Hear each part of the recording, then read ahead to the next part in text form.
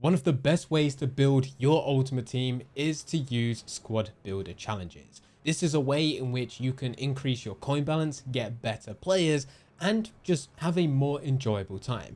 In today's video, we're going to be going through the correct way to grind SBCs. But before we do that, with SBCs, you need players. And with players, sometimes you're going to need coins. And there is no better place than U4GM. They offer cheap, fast and reliable FC24 coins so that you don't need to grind. If you're interested, there is a link in the description down below, and if you use Fanatic, you'll also be able to get yourself a 5% discount.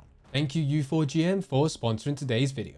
It may seem simple to grind SBCs, just complete as many as you can, except not every single SBC is created equal, and there are a few things that you should be doing which will make life a hell of a lot easier. Now, with the SBCs that are there, they are laid out in the same way, in that there is a certain reward, whether that be a pack, player, or something else, but in order for you to get that reward, you need to complete the challenge. Some of these challenges are more difficult than others, except there's a very easy way and that is by looking at the SBCs that have been completed over on a site such as FUTBIN. Now, most Ultimate Team databases do include something like this, but in my opinion, FUTBIN ends up being the best. This is where they use AI as well as other people within the community will submit their completed teams which can be used and fit the requirements for each and every single challenge that is included within SBCs. This will make life a hell of a lot easier. With all of that in mind, let's actually go through the correct way to complete SBCs. Now SBCs in my mind are broken down into two categories. Ones in which you can make profit from every single time, they're almost guaranteed, and others where it acts as a drain, in that you're unlikely to make any profit, but in return, you'll get a player that you can constantly use. Now, with the guaranteed profit ones, these types of SBCs are your foundation SBCs, advanced SBCs such as hybrid leagues, hybrid nations, and league and nation hybrid. You also have marquee matchups, your upgrades being bronze, silver, gold. EA will occasionally release rating upgrades, whether it be 78 plus, 80 plus, 81 plus, 83 plus, 85 plus, and they may even go higher.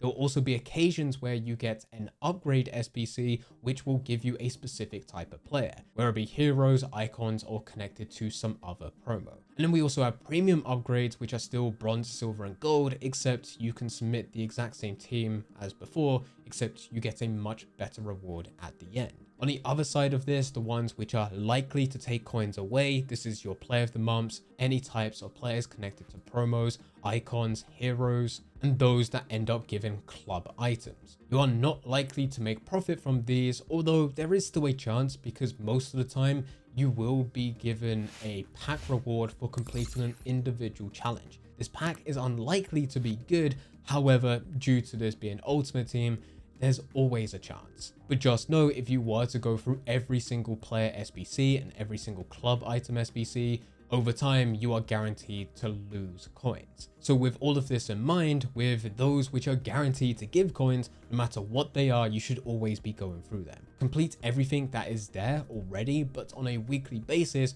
go through all of your marquee matchups. They are boring, they're not what they used to be, but even if you have no players in your club and you need to buy every single one for that challenge, it's still likely that you're going to make a profit.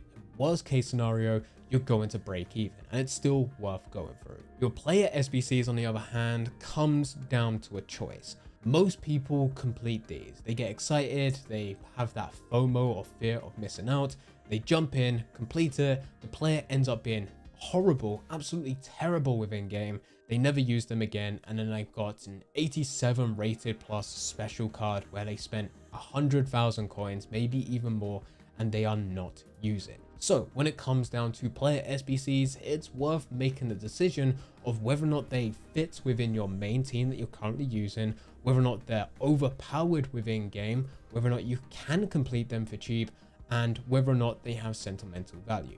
If you're going through all four of those options and it ticks the box for none of them, it's a player that you should probably miss out on. Just as a quick little story, I originally wasn't going to go for a player of the month Maddison. He originally didn't fit into my team. I haven't got any sentimental value around him and I wasn't able to complete him for cheap because it was the start of Ultimate Team. However, every single opponent I faced who had Maddison would always get at least one goal with him. That was very annoying. And as time went on, my team changed to the point of where Maddison would fit. And on top of that, I was able to build up my club with loads of untradeable players for me to then complete Maddison for free. At that point, it was a no-brainer. So I completed it. And now, even if I get to a point of where he no longer fits my team, I don't use him anymore, it should still be the case where I make a profit on him and that was still a good investment. He's still currently within my team. He's played about 20 games, scored quite a few goals, being a big player, certainly improved, so I should continue to use him.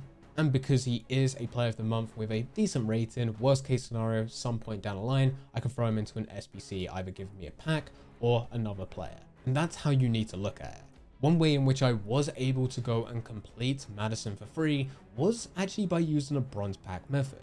I would use this quite a bit whenever I have some free time. It's nothing too crazy, just a few minutes every now and then.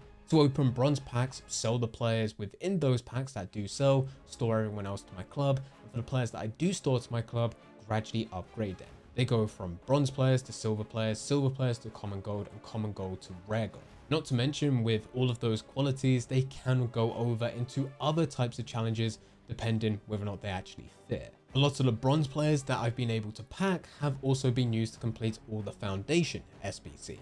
Another thing that you can do this year to put you further ahead, and I haven't seen this done as of yet, but we know 100% that there is the opportunity to do this, but as you upgrade players through evolutions, you will be able to use those for SBCs, depending on who you upgrade. So far, there hasn't been a 1000 plus IQ play where someone's been able to complete a challenge extremely cheap because instead of going for the player that EA intended, they went for someone else, upgraded them into evolutions to get the exact same rating, and then submit that instead. But we know that that is certainly the case and certainly an option that you can go through. We also don't know whether or not at some point this year, EA is going to have that crossover where an SBC requires you to go and submit a player that's already gone through evolutions. That will certainly be something interesting and there's already been a lot of speculation that this could happen at some point in the future, but that is still speculation.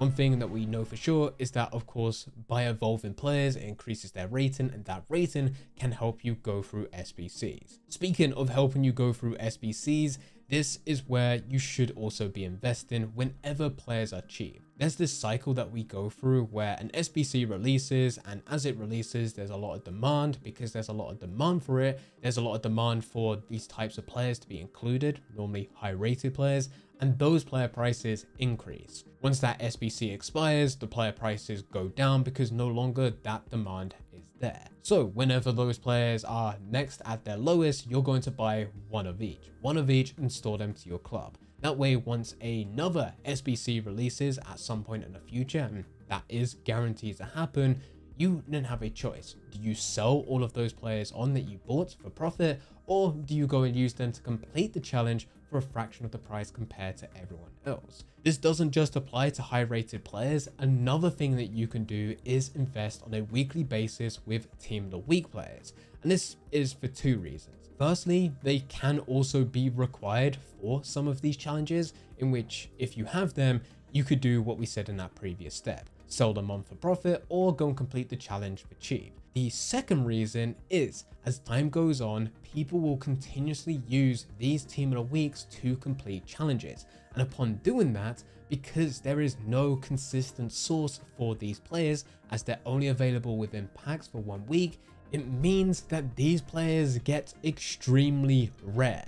Now we got the opposite situation where demand may stay the exact same, but supply reduces, so therefore their price does increase. And just to show that this does work, you can actually go back into every Ultimate Team. No exaggeration, the databases that we have out there, FUTWIZ, FUTBIN, they do show previous Ultimate Teams. You can check the very first team in a week, and if you were to go and look at every single player, you will see that they do increase. But with absolutely everything that we've talked about in this video, even though we've gone through guaranteed profit, ways in which you can invest, ways in which you can stop yourself from losing coins, and also be efficient with your player SBCs, it's still not the best way.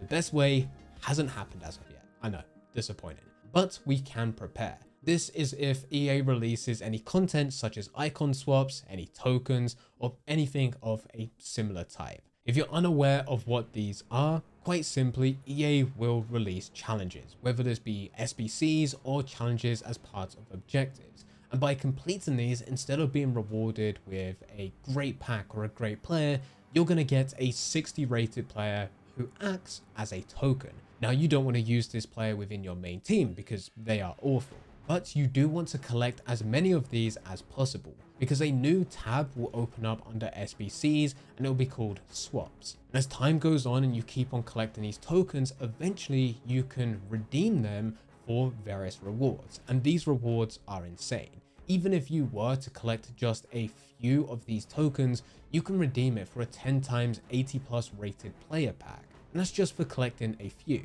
if you were to collect 10, 20, 30, 40, maybe even more depending on what type of content EA has in store, you can get some insane packs where it's 10 times 85 plus player packs, or maybe even more than that. You also have players on offer, and depending on the promo, it could be icons, could be heroes, it could be connected to another promo.